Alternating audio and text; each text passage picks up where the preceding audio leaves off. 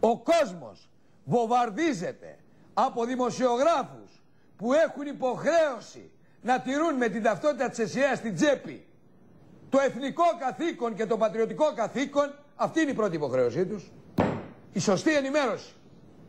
Βομβαρδίζεται ότι και τι να κάνουμε, αυτά έχει το Δούνε και Λαβίν, δίνουν λεφτά, μας αγαπάνε οι Γερμανοί, μας αγαπάνε οι Γερμανοί, δίνουν τα λεφτά τους.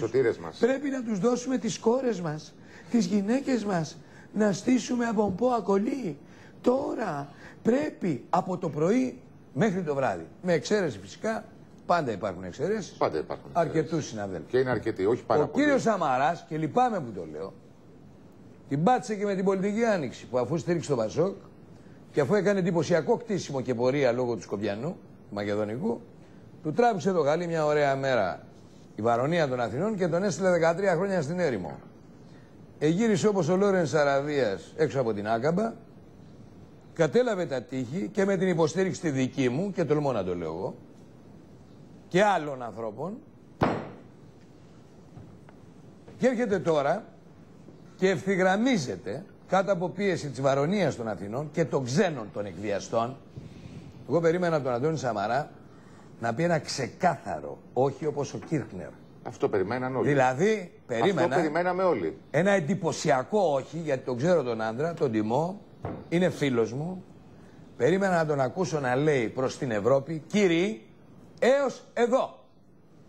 Δεν είμαστε παταξίδες, θα δούμε τι σκατά θα κάνουμε να σας αποπληρώσουμε τους τόκους των τόκων, ο τόκι, αλλά επιθεμάτων που αφορούν υπογραφές δούλων, σαν να είμαστε στο Βελγικό Κογκό, στην Ολλανδική Γουινέα, σαν να είμαστε ηθαγενείς μέχρι εδώ. Περίμενα από ένα κόμμα σαν τη Νέα Δημοκρατία, εάν ζούσε ο Καραμαλής που θα τρίζουν τα κόκαλά του. Καραμαλής ο Κωνσταντίνος μας έβγαλε από το στρατιωτικό σκέλος του ΝΑΤΟ. Βεβαίως μας έβγαλε. Είπε σε πολύ δύσκολη περίοδο για τη χώρα και Πήρε μετά ρίσκα. την εισβολή των τύπων του Ατήλα. Τι συγκρίνεις τώρα, ρε Σιγιώργο, Απομάκρυνε τον Καραμαλή με τον τη Αντώνη χώρα, Σαμαρά. το λέω στο Σαμαρά. Το λέω στο Σαμαρά και σε όλους τους τρισάτλιους συναδέλφους μου.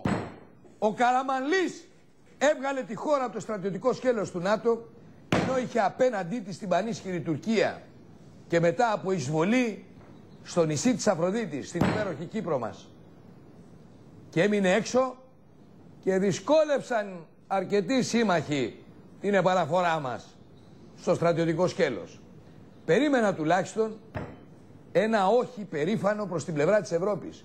Καταρχάς δεν υπήρξε ποτέ μια επιστολή η οποία να αναρτηθεί στις σελίδες της Φιγκαρό, της Μοντ, των Times, Από στελέχη της της Νέας Guardian. Δημοκρατίας. Όχι!